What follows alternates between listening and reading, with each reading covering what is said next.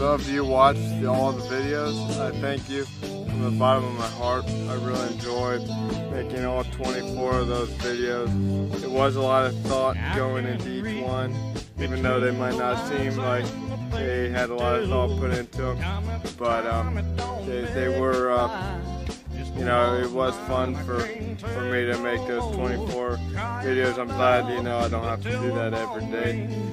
But it um, indeed helped. You'll probably notice I'm standing in the exact same spot that I was when I started this video marathon. And that's because it's in the back, it's in my backyard.